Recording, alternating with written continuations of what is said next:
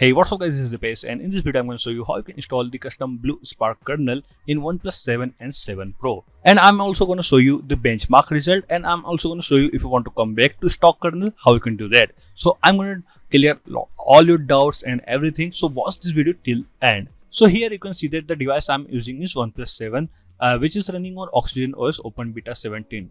It doesn't matter which device you are using, whether you are using OnePlus 7 Pro, you can follow the same method.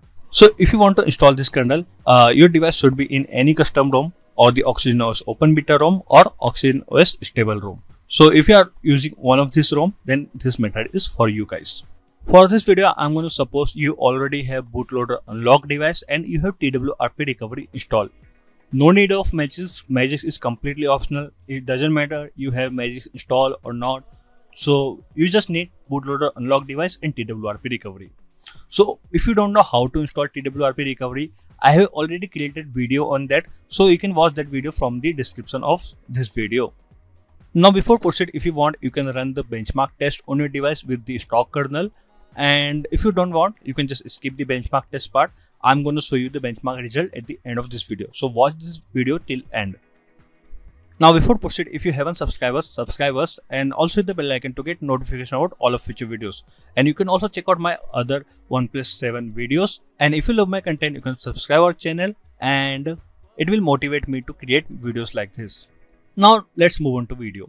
Now first of all, you have to download this Blu Spark kernel file in your mobile. Now let me show you how you can download this file and which file you need to download exactly. So you can find this link from the description of video and thanks to all the developer of blu spark kernel to create this custom kernel for oneplus 7 and 7 pro. So you can find this link from the description of video. And if you are uh, using oneplus 7 or the 7 pro then uh, you can download this custom kernel from this page. And whether you are using oxygen os or the custom os you can follow the same method and you can download the same file.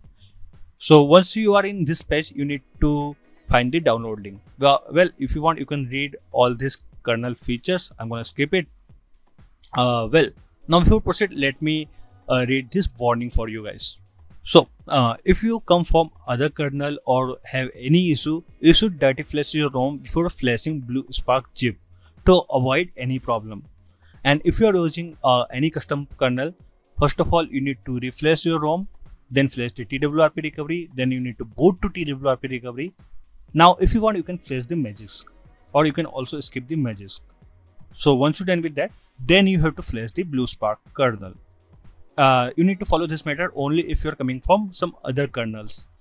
Uh, for this video, I'm going to suppose you are on your stock ROM and you are not using any kernel. So if you are already rooted or upgrading between the Blu Spark version, you just need to flash the kernel zip and also uninstall or clean data of any kernel control app you are using.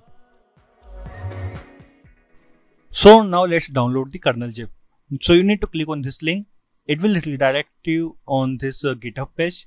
Now from here you have to download the latest kernel. So whatever the latest version available, download the your kernel file. So if you are using custom ROM, then download this one. And if you are using the Oxygen OS ROM, then download this one. So as I am using Oxygen OS ROM, I have downloaded this uh, kernel file. So now you need to download this kernel file in your mobile internal storage. So you can also download this ROM file from a PC and move this file into your mobile or you can directly download this file in your mobile also. So here you can see that I have copied this uh, kernel file in my internal storage. So now just go to your mobile and reboot your mobile into TWRP recovery. So if you don't know how to directly reboot in device into TWRP recovery, you can just go to system, then go to developer option and you can enable the advanced reboot option. So if your advanced reboot option is enabled, you can directly reboot your device into TWRP recovery with your power button. So once you are in TWRP recovery, first of all, I recommend you to create a backup of your stock kernel. So you need to go to backup, then you need to select only boot option here. So if any other option is selected, just unselect it and just select boot option here. And if you want, you can rename your boot uh, file so I'm just going to type it boot and then append by date name. So once you have renamed it, you just need to swipe this button to create a backup file for your boot image. Later in this video, I'm going to show you how you can flash this boot image to come back to stock kernel. So watch this video till end. So once this backup file is created, you can also copy uh, this backup file to your PC or your Google Cloud or something, wherever you want. So now backup file is created. Now we're gonna flash the BluSpark kernel. Now before proceed, just let me show you where this backup file is created. This backup file is created in your TWRP folder. So if you want, you can just copy this file in your PC or somewhere else. So just make sure you have the backup file. So now let's install the custom kernel. So you need to go to install, then find your BluSpark kernel zip file. Just select that file and now just swipe this button left to right to install the your custom kernel file. So once it installed, just simply click on reboot system and your device will be rebooted. The first reboot of your device after installing the kernel may take up to 5 minutes, so wait until your device is restarted successfully. Now let me show you here the Magisk is all still installed in our device and everything is also working. We are also rooted here. Now after installing this custom kernel, if you want you can run the benchmark test again to see the changes. In your device uh, well you can skip the benchmark test part because i have the benchmark result after installing this rom and i'm going to show you the benchmark result at the end of this video. Now let's install the stock kernel again. So you need to again boot to twrp recovery. Now this time if you want to go back to stock kernel you need to click on restore and here you'll you'll find the boot uh, image. So you just need to select this file and just swap this button left to right. And your stock boot image will flash again. And you will be back in your stock kernel. So guys that's it. This is simply how can uh, go back to stock kernel.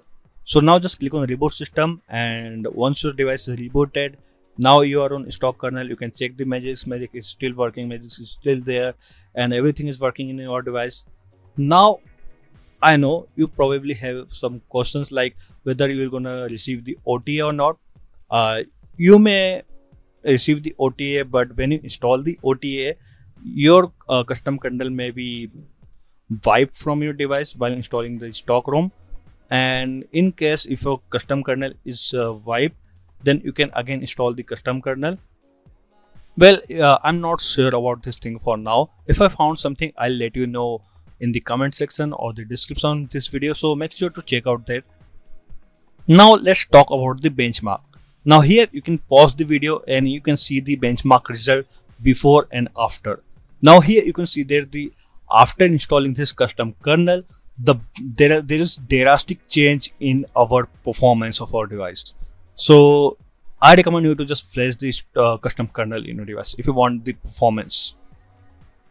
So guys, that's it for this video. If you like the video, don't forget to do subscribe and don't forget to check out my other OnePlus videos.